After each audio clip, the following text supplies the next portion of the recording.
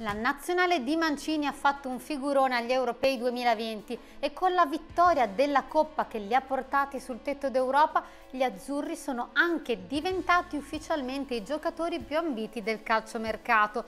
Ma quanto valgono i ragazzi di Mancini? Gigio Donnarumma, nominato miglior giocatore del torneo dell'UEFA e sicuramente il più osannato dagli italiani lungo tutta la penisola, si è meritato un contratto da 12 milioni di euro per 5 anni al PSG. Il suo valore prima degli europei era di 60 milioni, ma grazie al suo ruolo nella vittoria e alla giovanissima età, oggi potrebbe aggirarsi intorno agli 80 milioni di euro.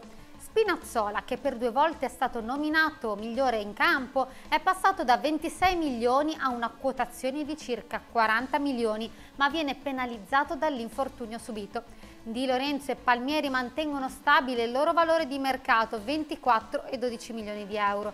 Bonucci e Chiellini rimangono pari per età, ma sono stati tra i migliori al mondo nel loro ruolo.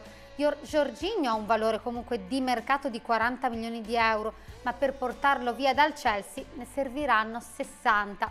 Barella mantiene stabile il valore di 65 milioni e Verratti in teoria di 55 milioni, ma il PSG non è disposto a contrattare a meno di 70 milioni per lui.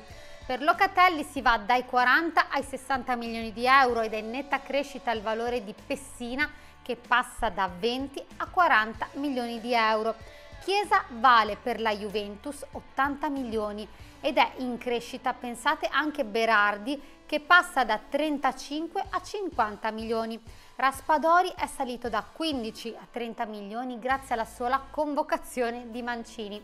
Stazionari, immobili e insigne che pensate rispettivamente valgono 40 e 50 milioni. Per oggi è tutto, io vi aspetto domani con una nuova puntata di Business Sport 24. Un saluto da Elisa Mazzucchelli. Ciao!